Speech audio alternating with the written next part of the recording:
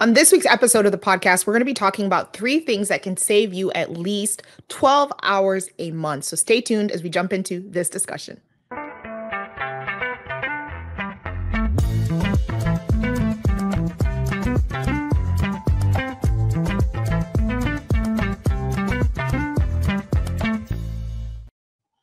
Welcome back to another episode of Stuff Your Accountant Isn't Telling You. I am Lola Turner, your host, and I'm welcoming back Mr. Terrell Antonio Turner, my co host. Hi, Terrell. Hey, what's up? Hey, how are you? I am doing well. I mean, it's still um we're still working through the tail end of tax season, so um busy but good. All right, cool, nice. Um, how's your week been? The week has been productive. Uh, I think getting some stuff done, um, making some sales calls, uh, working with the team on improving our processes because um, we're always trying to find ways to move faster and deliver quicker um, so we can get the clients the information they need so they can make faster decisions so it has been a week of gaining efficiencies. Awesome. Well that's good. I think that aligns very well with what we're going to talk about this week um, so very, very good and very timely because I, you know, as a business owner, I understand a lot of business owners. I mean, you know, you're listening to this, you're a business owner, even you, Terrell, is just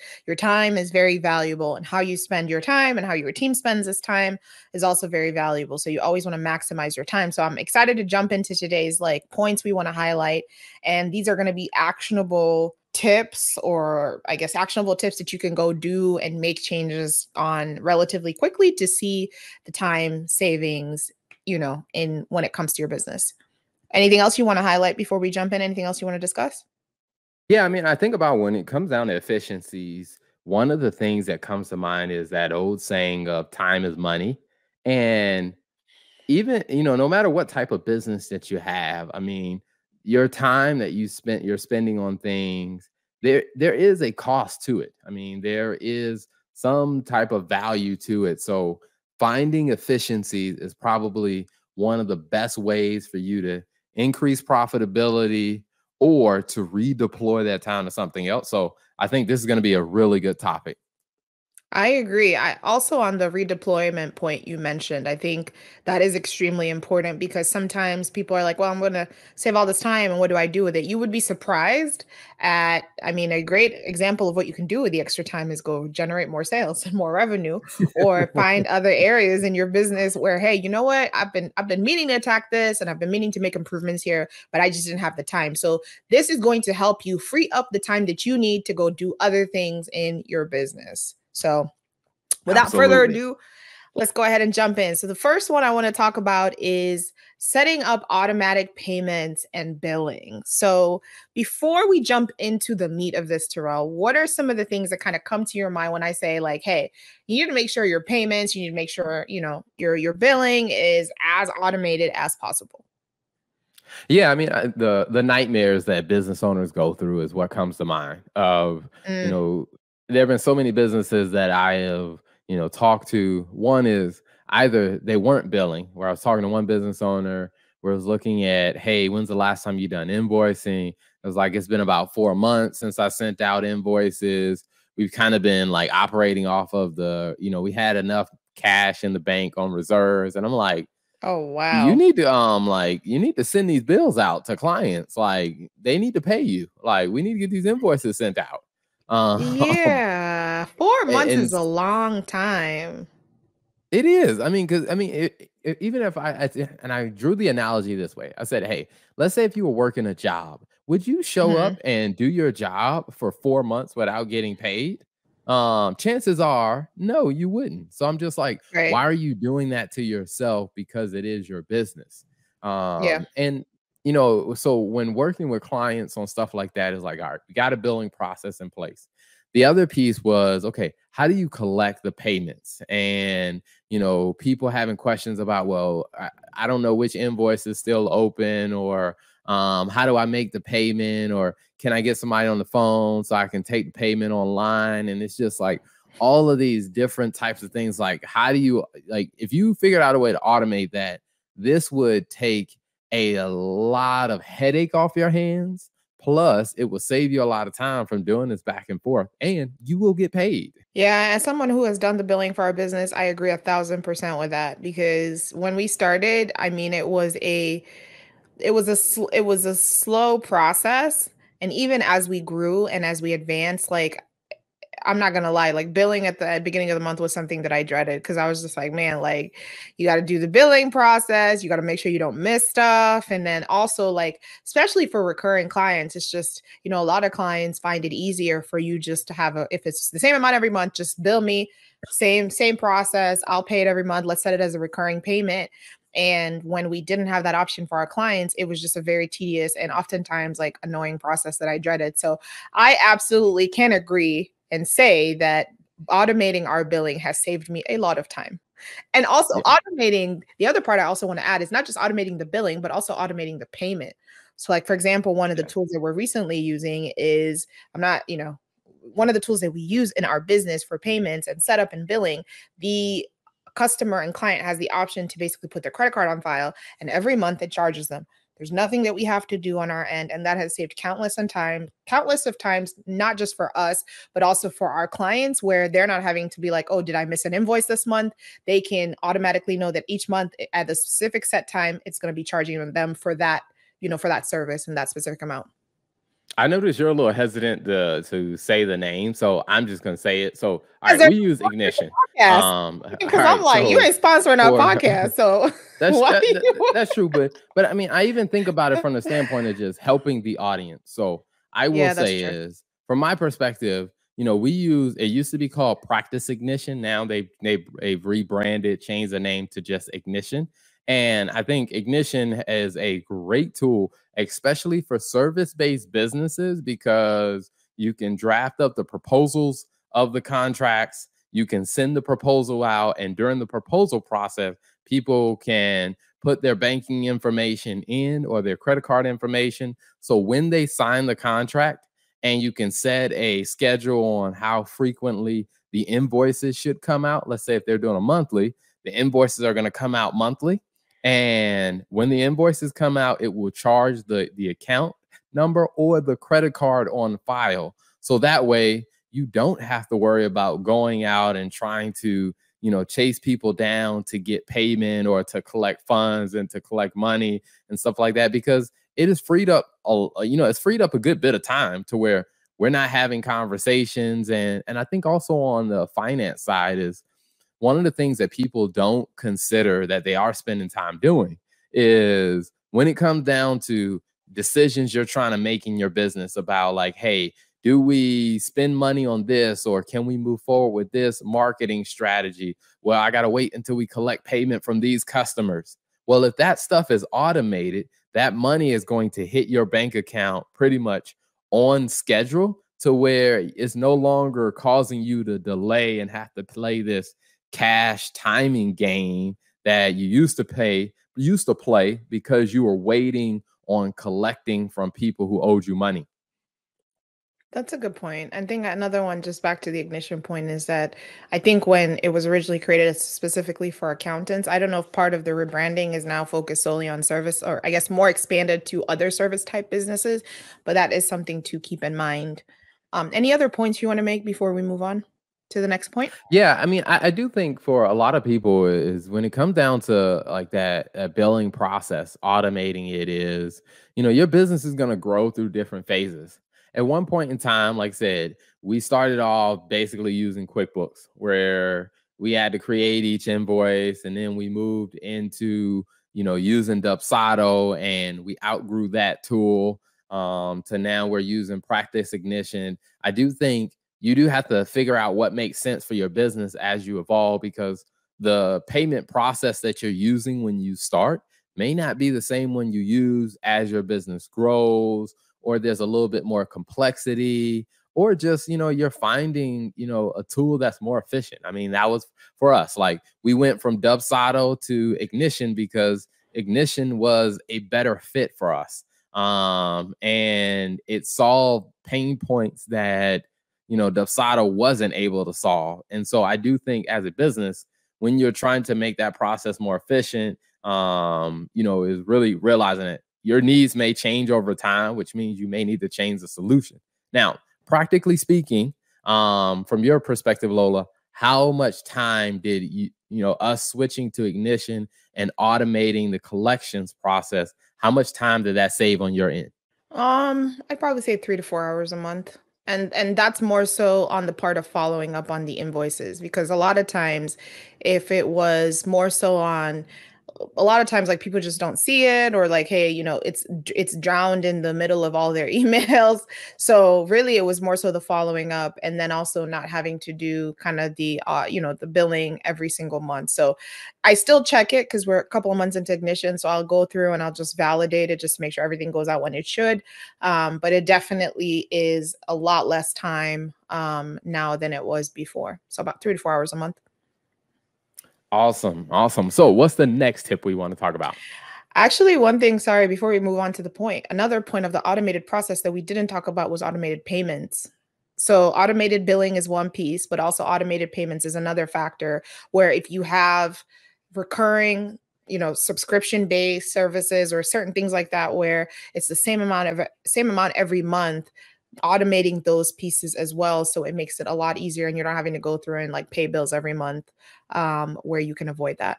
So the next one um, is fun one that we also all love to talk about on the show which is outsourcing your bookkeeping. So Outsourcing your bookkeeping will save you a bunch of time every month. But Terrell, you are the subject matter expert here. So I want us to talk about, you know, outsourcing bookkeeping. So when you think about that, what are the first things that come to your mind with outsourcing your bookkeeping and just some of the challenges like business owners that don't do it see?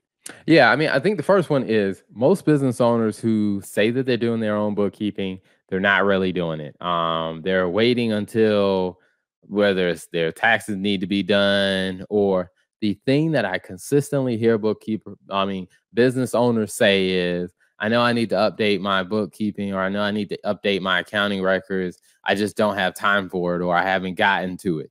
And I'm like, if that's something that you're continually saying, like, you know, one of a couple things, either you need to, you know, get the right tools, in which I meet with a lot of business owners where we'll do a consulting session where we'll we'll help them understand either how to use the tools they have or will give them some easy to use tools so that they can start actually getting some visibility to what's going on.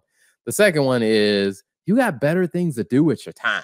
Like right. you're busy trying to either meet with clients or you're trying to grow the sales or you're trying to, you know, meet with your staff to make sure you can deliver the service or the product. It's like at some point you do have to just be honest with yourself and say, you know what? I don't have time to do this myself. Yeah. I need to hire somebody else to do it because there are so many business owners that I see that are wasting time trying to convince themselves that they have the time to do the bookkeeping themselves because they want to save a few hundred dollars. And I'm just like, you know, you might be saving a few hundred dollars, but you're wasting probably hours and hours of time. Like if you look at the time you're wasting compared to the money you're saving, you're probably losing more money than you're actually saving if you looked at the time you were you were wasting.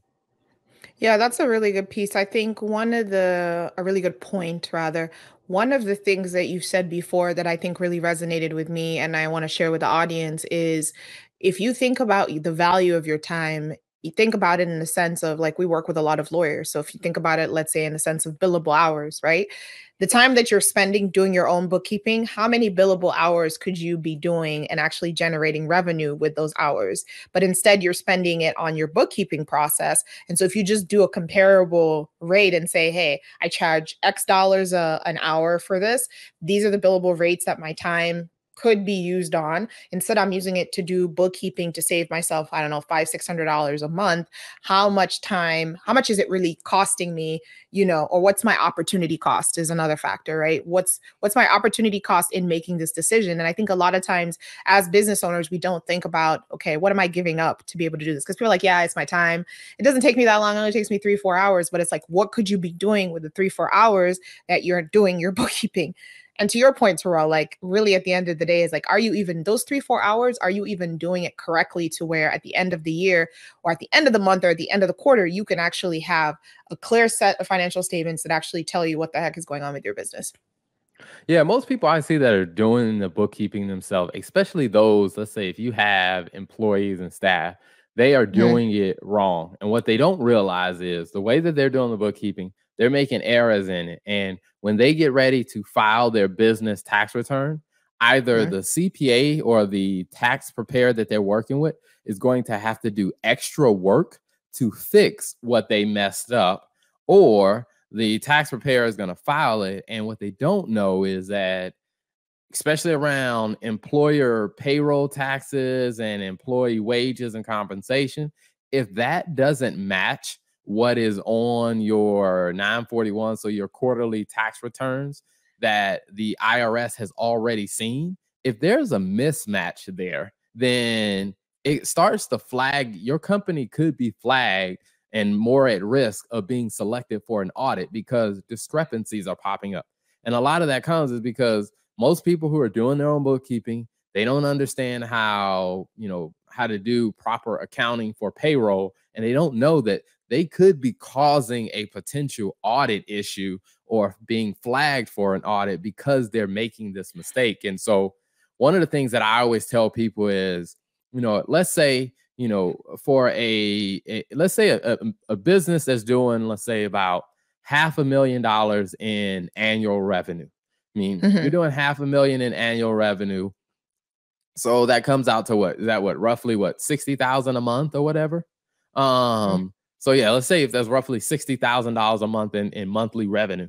I mean, to do the bookkeeping if everything is running smoothly to do the bookkeeping for that client you're looking at probably you know two to three hours of a week minimum to do the bookkeeping for that and that's if you are really good now if you're a business owner and you're kind of doing it on the side you're probably not going to be as efficient as two to three hours a week to do it properly. So i mean if you think about that that's eight to 12 hours worth of work. Now, one of the things that I always tell people is if you had 12 to 8 hours to, you know, follow up with clients, to talk to your referral sources, or even to talk to potential new clients, how many new clients do you think, or how much new business could you get if you had an extra 8 to 12 hours a month to spend on your sales process? Every person that I talk to says, oh yeah, we can definitely increase our revenue by, you know, hundreds or even a couple thousand a month. Then I'm just like, well, if you could spend that time growing your revenue, making more money, you can afford to outsource the bookkeeping. You just got to spend your time on the things that are a better use. And whenever I walk people through that analogy or that example, they start to see, like, oh, you know, it does make sense to outsource this because if I'm saving eight to 12 hours, I can actually make more money by outsourcing this so I can do smarter things with my time. Yeah, that's a really, really, really good point. And I apologize. When you said five half a million, I was thinking you said 720. So half a million a year. My bad. Half a million a year is actually like 40 something, 42 grand maybe a month. 42. Um, okay. Eh, yeah, 42 grand a month. But um, no, I think that's a really good point.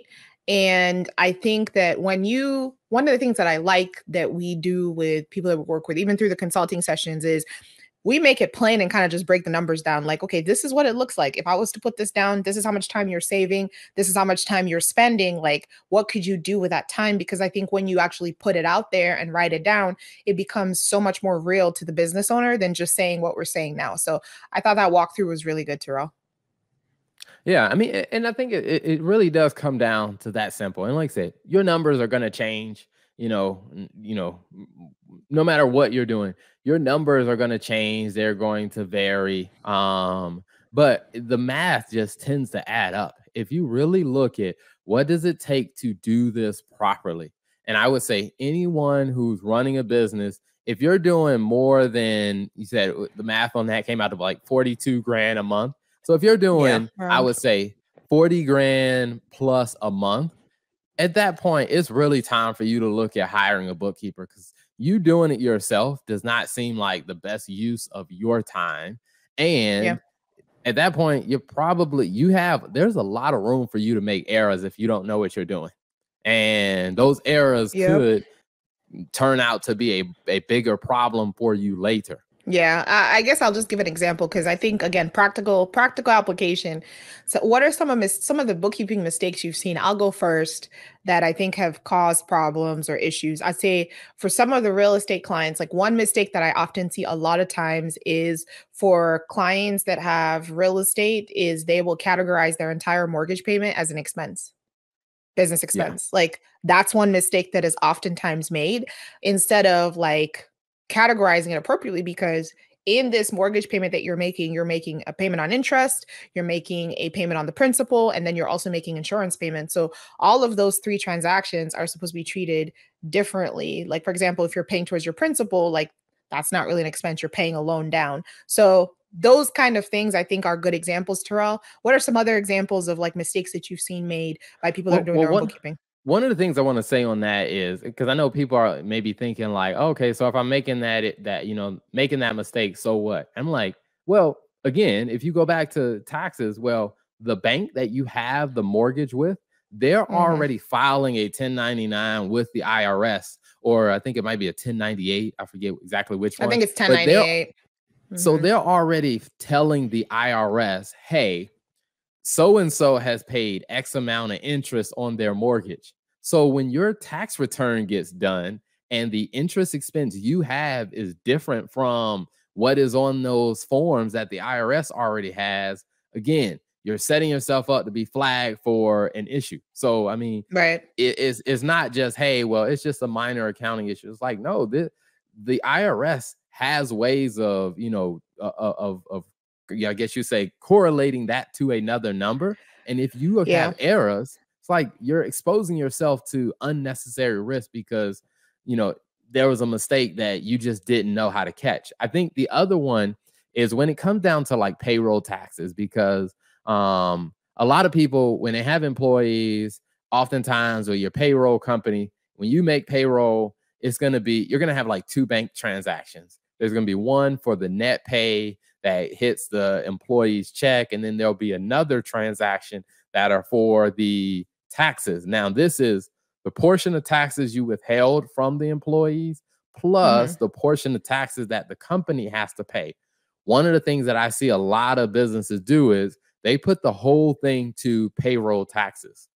Well, Mm. when you get ready to file your taxes, if that's the number you put on your tax return as the payroll taxes that you paid, again, the IRS is going to look at your 941s and see, well, the payroll taxes you reported on these forms is different from what you're saying in your tax return. Again, you expose yourself to an unnecessary error because you didn't understand how to do proper payroll accounting. And I'm like, you know, save yourself some time and headache and just just hire a bookkeeper. Yeah, and the other thing also that I think about is oftentimes, you know, like, whatever, like I have someone that does my taxes, they'll catch this, they'll fix it at the end of the year. it's going to cost you money to fix it because now they're having to go back and basically root, like do a root cause analysis, figure out where the problem started, fix it for you. And all those are hours, which is why one of the reasons why your tax bill may be as high as it is because they're going back and basically having to fix and replicate it. And a lot of times you it doesn't guarantee the issue is actually going to be caught because to be fair, a tax accountant is doing how many like hundreds of tax returns at a you Yeah, I know at a given time. So there's really no guarantee that even if there is a mistake that you make on your end, that your tax accountant or tax preparer is going to be able to catch it in a very short period of time because you have a year's worth of financial records that they're basically having to prepare on the spot for you and then also make sure it's done correctly. And I mean, it just leaves room for errors. Yeah, I mean, I, I would say it's like even if you think about yourself, I mean, let's say you know if you were on a tight deadline and you had you know a hundred things that you had to get cleared off your list within the next Mhm. two weeks, how much time to detail are you giving each of those hundred things? Listen, you focus on the top first, the ones that are going to cause the most, that are the most impactful. So I'm guessing probably revenue, like a couple of things, and then everything else is like if I get to it, I get to it, right? And that's not the right thing, and that's not the right approach. But to be honest, you don't want to find yourself in that position. But you will find yourself in that position is if you don't have a good bookkeeping process And a lot of times it's just hire a bookkeeper to do all this for you because then it's on them to make sure they get you correct financials and it becomes a very seamless process to hand that over to your tax accountant at the end of every year and takes the headache away from you. And I think that's why a yeah. lot of people dread tax season. Business owners dread, dread tax season because it's almost like, man, like I have to go figure out and remember what happened at the beginning of the year because they weren't really as engaged in that through the year. Yeah. One of the other things that I would say, and this has happened a couple with a couple clients where we've taken some clients on and they were using different types of like payment processors. And in the process of us, you know, digging into the details, doing our reconciliations, you know, we identified some really big issues to where there were some payment processors that had gotten set up where they weren't set up properly. So they weren't actually receiving the cash in their bank account associated to all these sales. And and I remember talking to the client, we laid it out and said, "Hey, there's about $120,000 that are missing. We need to go back to this payment processor. We need to talk to them." We talked to them, came back and they said, "Yes, your money has been sitting in this escrow account because we didn't know wow. where to send it." and so, wow. you know, the client was like, well, thank you, you know, Terrell, you and your team, because you guys found this. But it was like, had you guys not been looking into this, we would have never found this. And he was like, exactly. He was like, you know, I, he was stressed out because he was like, you know, the business should have more cash in the bank account. Like, where is it going? Mm. And he was mm-hmm. like, you mm-hmm. know, I'm grateful that you guys are looking at this because he said, there is no way possible I have the time or even the know-how to figure out what you figured out. And like I said, they got their hundred twenty thousand dollar check, so their bank account went back to where it should have been. And we're monitoring things, and there are so many businesses that are using different type of payment processors, payment applications that are, weren't set up right. But the thing is, if you don't have a bookkeeper who understands how to do the reconciliations like you could be missing out on money that belongs to you and it's just sitting in some third party, you know, trust account or, you know, third party account waiting to be claimed by you. But if you don't have anybody that can dig into the details, you might never get it. Yeah, that's really good. $120,000 can be the difference between cash flow positive and, and closing your business down for a lot of business owners. So that's a pretty yeah. big deal. It's a hundred twenty thousand yeah, I mean, uh, miss. yeah, a hundred and twenty thousand dollars. I mean, it, it's a very big deal. I mean, even for you know, I mean, good thing for that company. I mean, that company is doing you know really good revenue, anywhere from like ninety plus thousand a month in revenue. But still, I mean, that's like a whole month's worth of revenue that's missing. Yeah. To where it's just like, right. hey, that will take care of a lot of things and investments you want to do in your business. I mean, because one of the things you don't want to do is be a business owner and be stressed about what's going on with the money like do you have enough money to survive or to stay in business? And right. you know it's being able to have and rely on a good bookkeeper that is you know really reconciling going through your numbers being able to provide you with the financials so you can see the picture of what's going on it it not only saves you time, but it's a it's a huge stress reliever too. Yeah, no, that's really good.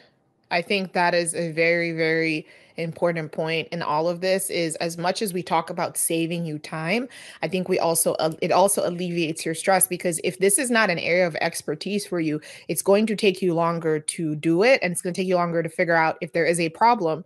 Whereas that time should be used to focus on the things that you are good at and the areas where you can actually help make sustainable changes in your business. Absolutely. Absolutely. So, um, the last one that I wanted to talk about that I think this one is a big game changer. And and this one is you're probably not going to get this from, you know, from a basic accountant, basic bookkeeper. I mean, this is the stuff your accountant isn't telling you. Is one of the things that will save you time is to simplify your financial reporting. Um, mm-hmm. And so when you hear that, Lola, what's the first thoughts that come to mind for you? Liveflow. no, but on a more serious note, like for me, I think it's if I'm thinking about, I think I think I I think about it on two ends. Like once one end, I think about it as a business owner, right? is if I am hiring a bookkeeper, and I think about it even in the jobs and the roles that I've worked in, is people don't pay you as an accountant and a finance person. They don't pay you to basically have them have to do the work to figure out what's going on in the business. As a finance person, people pay you to give them answers. So if you think about it, what is the quickest way for you to give a business owner an answer about how their business is doing? It's about simplified accounting and simplified a simplified view. Is my business making money? What are the red flags I need to pay attention to this month? Hey, are there any areas where hey, I'm losing money? I need to go focus on, you know, maybe cutting costs there. Like the quickest way in my view to be able to provide that information as an accountant to your customer is through tools like LiveFlow because you create processes that allow you to be able for them to be able to easily identify this. And I'm I'm not just saying it because, you know, it is what it is, but I I think that I've seen a very major and a very big change in even client delivery. I'll speak specifically for the clients that I support, like client delivery in them being able to say like okay like in the past before i when i used to get financials from the last bookkeeper i was working with it was really hard for me to even follow and understand like what was going on with my numbers whereas it's like okay now that i have easy accessibility to the data that i'm putting together using LiveFlow i can that process is automated i don't have to worry about how i'm getting that data and then i can focus more on making it digestible for my customer right and so for me from my perspective, I would say simplified, simplified accounting, simplified reporting. How do you get the answers that your customers need quicker in as an accountant? How about you? I feel like I yeah, I mean, I think the, the uh, I think the, the getting to the point. I mean, it is how do you make it easier for your clients to understand what's going on? Because the, mm-hmm. truth of the matter is most business owners do not understand how to read financial statements and that's not a bad thing that they don't understand how to read financial statements because they don't need to understand all of it. I mean, especially right. if you have an accountant, like it's the accountant's job to tell you what you need to know in it and help you understand right. the parts that are relevant to you. Like, for example, like some of my, I was on a call with a client yesterday and we were talking through, she was saying, you know, what are the six statements that I really need to know? and we went through the P&L in detail and I was like, you know, to be honest with you, we went through her balance sheet, but I'm like, really the things that are going to change on your balance sheet is the cash, your credit card balance and the balance on this loan that you have outstanding. All the mm-hmm. other stuff like, you know, your retained earnings, shareholders equity, like you don't really need to know you're not making day-to-day decisions that are driving that. Like we can talk about that if you have a specific question but what i really wanted to focus your attention on because i only have a limited amount of time because you know she was in between you know going through you know leading she was the lead attorney on seven different trials.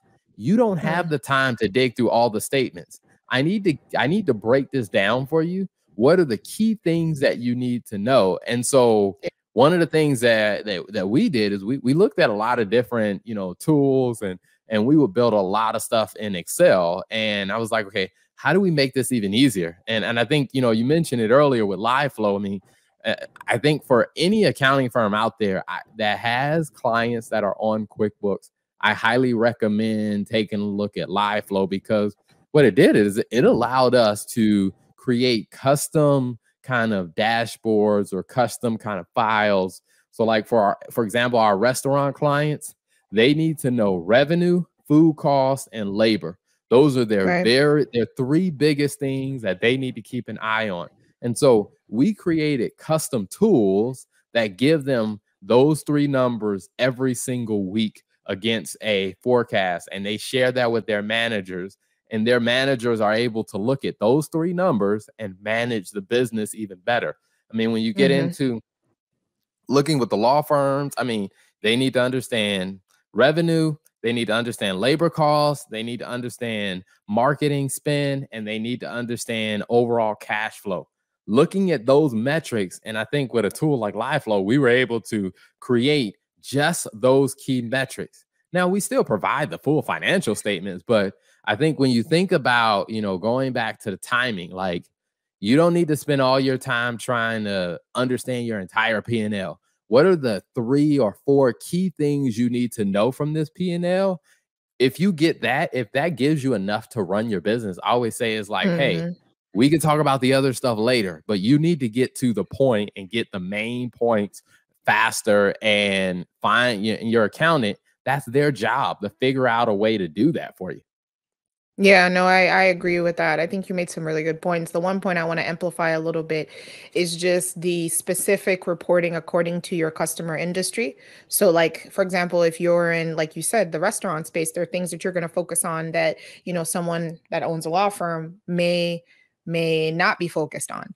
And so I think my my recommendation to accountants is always looking for the easiest way to provide value to your clients because at the end of the day you're serving these customers. And I remember specifically in my case even just a lot of times with sales guys that I would work with in some of my last couple in my last couple of roles a lot of times the question was hey Lola like what do I need to go sell? Right and for them, it was a question of there was heavy focus on revenue.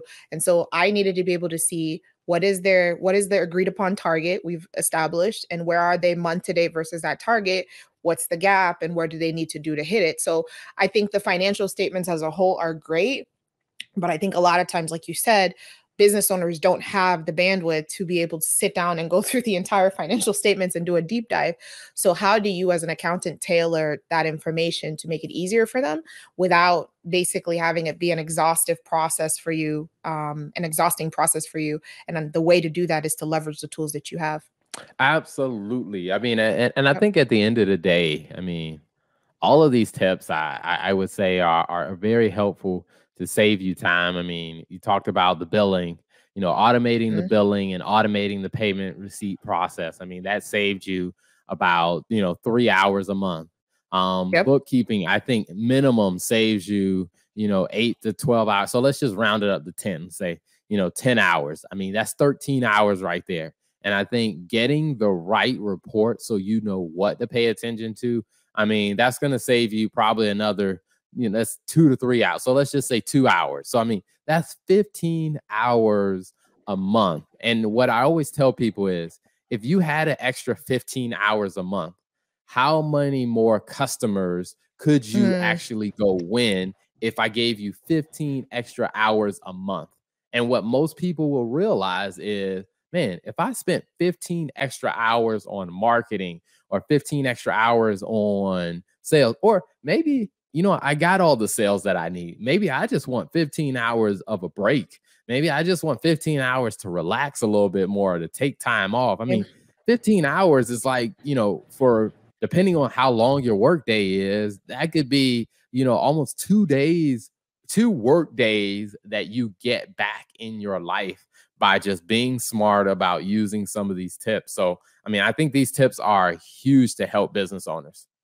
I fully agree. No, so definitely all about saving you guys time and share this episode with your accountant. If you have an accountant, let them know, hey, we have the tools and resources we've shared on this episode to help them basically be able to provide better value to you in a timely manner. So that does it for this week. And now, Terrell, we're going to go into the tax tea of the week. All right. So, what is our tax tea for the week? All right. So, our tax tea of the week is going to actually be about an accountant who has been convicted, who was recently convicted um, for working as an accountant for basically doing illegal activity. So, it's a, it's the accountant was has been charged with college what what they call college admission schemes all right? So for a period of from 2008 to 2017 which is actually a pretty long time 9 years this accountant was working for an organization called counseling it was counseling services is what they did. And basically long story short what this organization was doing was they would um, basically have like parents would pay this owner of the business money to basically bribe coaches to get into you know get into specific schools or pay off admission officers and all of those things. Because you remember a couple of years when there was that whole admission scandal do you remember that? Like Mhm. celebrities had paid off, Yep. like t- paid off people. So basically, a similar process. Um, but this was the accountant for that business, and so he like was charged with he was charged with like at least they ha- at least they were smart and got an accountant right but he was charged he was charged with like invoicing parents for these illegal payments so basically they would pay the company would pay the bribery charges to the college admission officers or the coaches and then he would turn around and invoice those cost you know invoice the um The parents. invoice the parents and then he actually claimed that it was like legitimate um i think i don't remember what he called the charges but he actually claimed it on you know the financial statements of the company which you know per the per the rule of the irs you have to you know you have to mention all of business related charges even though they may be illegal. But um so basically included those in the financial statements. But really the biggest thing was that the money was of course illegally um was for an illegal activity.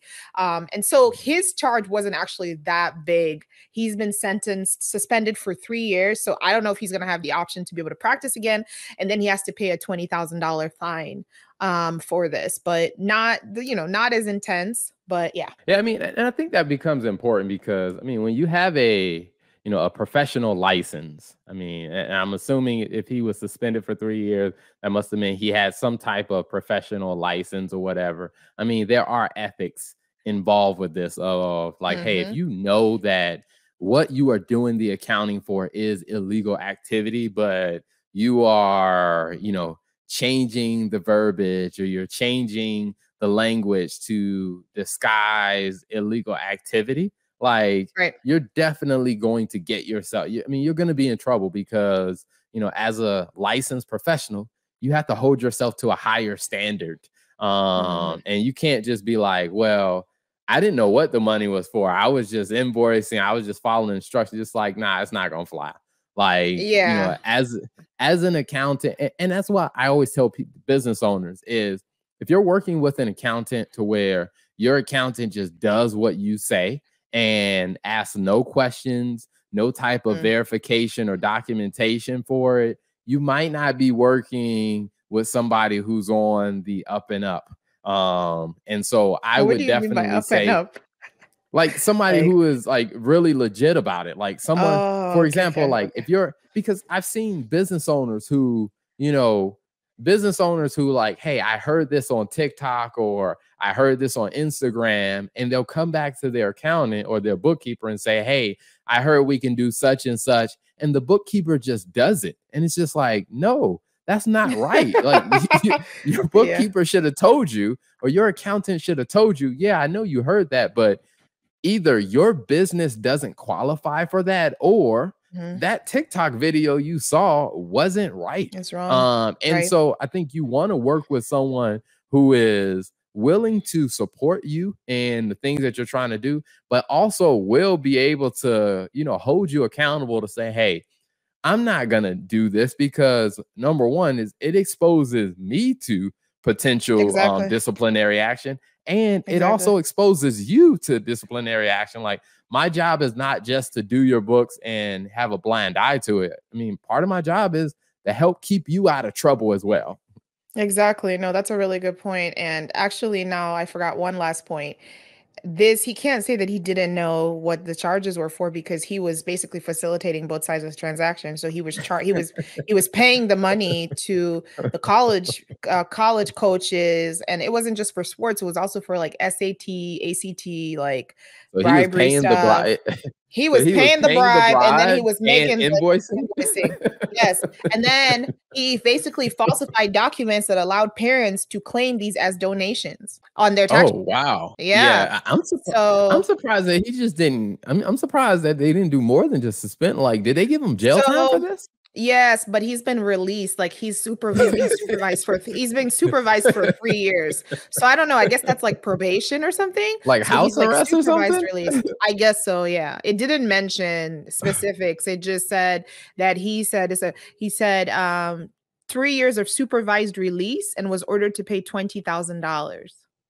Yeah, because once you get into, I mean, once you get into actual lying about what Yeah. you're doing, like that Mhm. becomes a whole nother, a whole nother crime is I mean, it, it's one thing to say, hey, I did this, but then to say, hey, I did this and I And lied knew. on tax forms about it Yep. and I helped other people lie and say these were donations. And it's just like, because Mhm. I'm like, well, what organization did they donate the money to?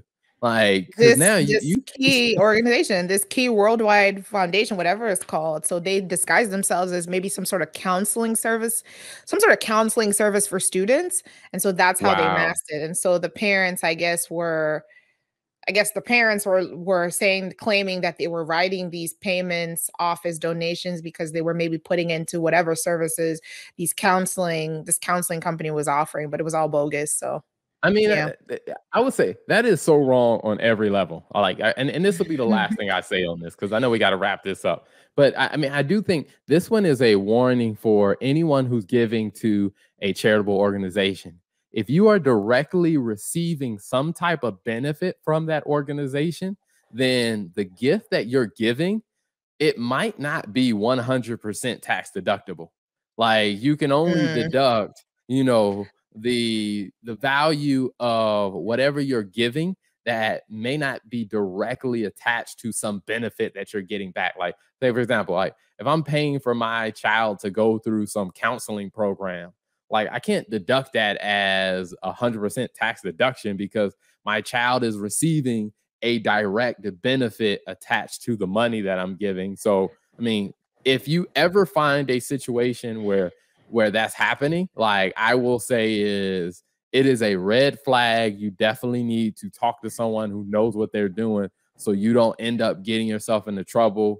And because I'm sure all of these families that took these as deductions for these 9 years now all of their tax returns have to be amended and they got to go back right. and they got to pay taxes on this. And plus, you know, their child probably got kicked out of school uh, once they found out. So it's like you got to pay taxes. You can't get your money back. Your child got kicked out of school. And you might actually get in trouble for this to where it's just like, man, this is a mess. Yeah, and I was gonna say, like, I guess because they were convicted in 2022, what happens if you've already graduated at that point? Like, do they repeal your do they repeal your admission or your your degree? Like, how do you even handle that? I I don't know. I mean, I, what I will say is is that you know even if they don't repeal your degree, I mean, I mean, I will say for for the kid, if the kid did not know this was going on, and let's say their Yeah. parents were doing this without their knowledge or whatever, I would say that's a different situation. But I will say even in that case, I mean, this story will follow you around. I mean, because if you, even if you think about like the big, you know, some of the celebrities that were involved with you know the college scandal, I mean Even mm-hmm. the kids think about like their children. Like people know who their parents are to where it's mm-hmm. just like that reputation and the weight of that now follows your kid wherever they go. Like if people know that that's your parent like your parent went to jail for you know paying money to get you into certain schools like Yeah. that reputation's gonna follow you. So where you may not lose your degree but you may lose some value of your reputation that you have because of this action No, that's really good. That's really good. So, no, good point. I think we can wrap it up there. And uh, thank you guys for tuning in to this week's episode of Stuff Your Accountant Isn't Telling You. Until next time.